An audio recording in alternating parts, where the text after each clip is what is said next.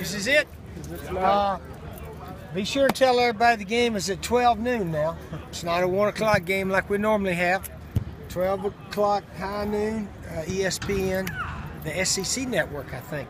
Is that correct? Or ESPNU. just ESPNU. SPNU? All right, that's right. Well, some of the guys that, that work the SEC network be are here. supposedly be here.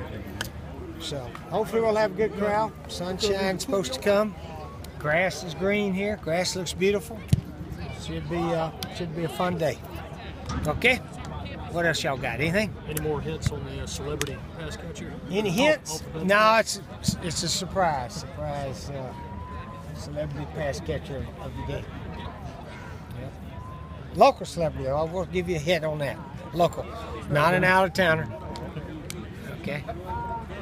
All right, got it all. You going to Augusta tomorrow? I went today. I went went today. today? Stood around about three hours. And my back got all stiff. Uh, sat around in one of those little uh, cabins for about an hour, and then walked a little bit. Uh, so I'd have enough. Yeah. Enough for Yeah, the we, weekend. We got back about three thirty. Yeah.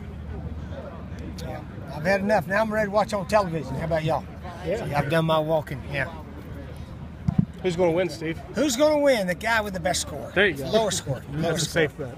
The guy with the lowest score. Tell you what, Bill Haas is leading. Local, Mm-hmm. South Carolina. He is from South Carolina. ain't he? But he went, went to Wake Forest. Yeah.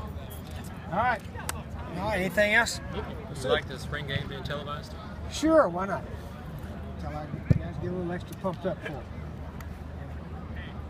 Hopefully our halftime show will go all across the country too. That'd be fun. We're supposed to have all the guys here, all the seniors, Bruce Ellington, Connor Shaw, Jadeveon Clowney. Uh, they're all supposed to be here ready to get introduced at halftime. So uh, we got a full show lined up for halftime. All right.